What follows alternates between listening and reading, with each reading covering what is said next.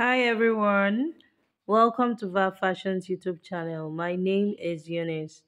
In this video, I'm going to be showing us how I made this beautiful scalloped bell sleeve. If you are new to my channel and you haven't subscribed, please kindly hit on the subscribe button to subscribe and make sure to put on your notification bell so you get notified every time I upload a new video and please subscription is free. So it's just your way of supporting my channel and saying i'm doing a good job. So please kindly click on the subscribe button to subscribe and do not forget to put on your notification bell so you get notified every time I upload a new so video. Thank you. so I'll be making use of this Ankara fabric for so this sleeve. And the first thing I'm going to do now is to fold my fabric on bias. Just watch carefully how I'm folding the fabric. Can you see? I'm not folding it straight. I'm folding in a way that is giving me a triangular shape. So this inches. part is the base of the sleeve and I want the base to be 18 inches exactly on fold. So when it is open, inches. that's 36 inches. So 18 inches is just fine. So from the base of the sleeve, that's from the down part, I'm going to measure the length of the sleeve. And the length I'm working with here is 24 inches. That's plus my hemming allowance and all. I don't need so much hemming allowance Remember that the down part is scalloped, so half inch is just fine. Okay, so now I haven't folded my fabric and I've measured the length of the sleeve, which is which is 24 inches. I'm going to draw a straight line at the starting point of the sleeve. So from this starting point, I'll come down by the cap's height. The cap's height here is 4 inches so from the straight line I have there, I'll come down by 4 inches, which is the cap's height.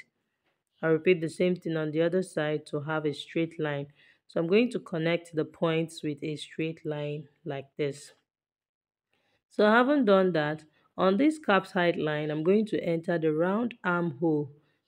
So the round armhole is 8.5 inches. And you can see I've marked it on the cap's height line.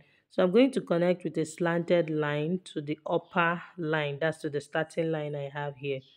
And then I'll go ahead and get the midpoint of this line. So now that I have the midpoint, I'll get the midpoint of the upper part by folding my tape into two like this. And then I'll also get the midpoint of the down part also as well. So now at the upper part, I will go up by half of an inch and connect the starting point to the half of an inch and then to the midpoint there. Just watch the way I'm placing my curve. You see, just curving to connect and then I'll also connect the midpoint to the other second midpoint and then to the end here. So this is me just forming like an arc, okay? But I went in by half of an inch to create this arc. It's just our normal way of drafting our basic sleeve. So if you don't really understand this, I'll be dropping the link on how to create a basic sleeve so that it can make it clearer. So next I went ahead to enter the sewing allowance at the side and then this is me connecting it to the 18 inches I have at the down part of the sleeve. So it's that simple. So you can see the upper part of the sleeve is narrower than the down part. The down part is as wide as 18 inches. So I'm going ahead to cut out the sleeve.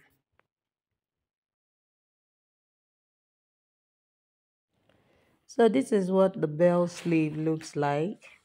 Let me open it up for us to see. So you can see how the down part of the sleeve just flares out.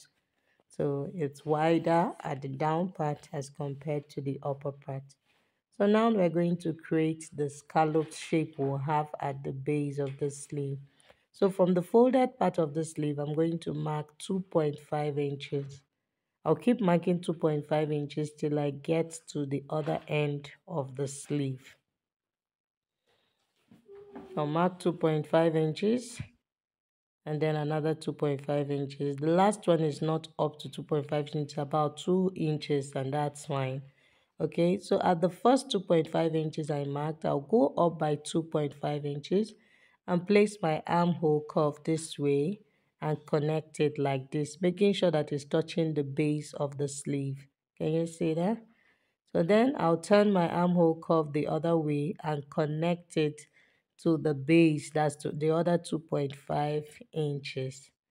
So I haven't done that now on the third 2.5 inches I will go up by same 2.5 inches like I did for the first one take note that at the second I skipped it I didn't go up okay so now I'll turn my curve this way to connect it to meet the other curve I have like this so now to connect to the second one and next one, I do not need to go up by 2.5 inches. I'm just going to connect it to meet the 2.5 inches I've marked up already. You see, so now this one, I will have to go up by 2.5 inches. And then I'll curve it to meet the other curve, that's to join at the base here. So next, I'm just going to curve now. I don't need to go up by 2.5 inches. So I went up by 2.5 inches at the third one. That's at the odd numbers, not at the even numbers. I hope we understand. So now I'll go ahead and cut out the scalloped shape here. I'm just going to follow the shape and cut it out nicely.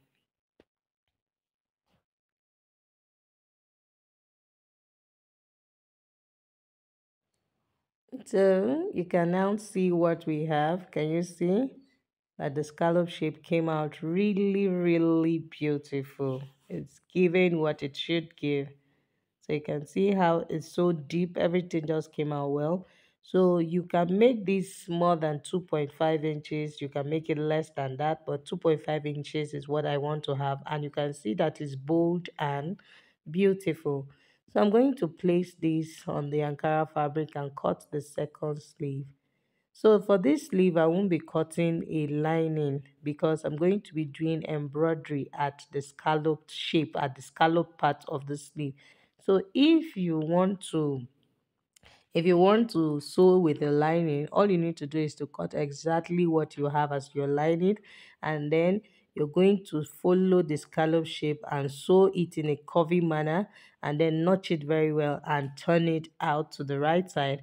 And of course give it a very nice press so that everything relaxes very well.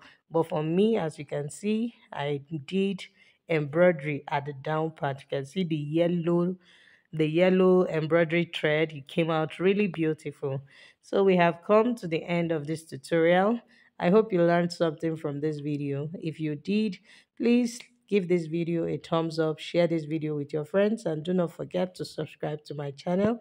And also make sure you put on your notification bell so you get notified every time i upload a new video. Thank you for watching. See you in my next video. Bye